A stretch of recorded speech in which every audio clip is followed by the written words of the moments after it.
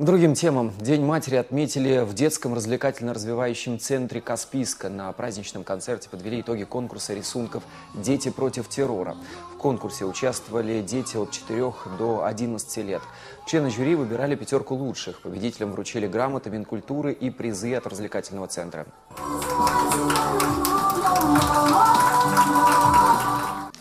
По словам организаторов, главная цель конкурса – побудить детей а, выразить в рисунках с помощью красок и карандашей свое отношение к насилию и террору, с тем, чтобы вместе со взрослыми противостоять этой угрозе, с которой сегодня сталкивается весь мир.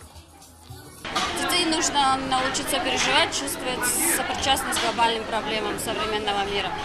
Через этот конкурс мы хотим показать актуальность проблемы террора. И в дальнейшем планируем проводить подобного рода мероприятия.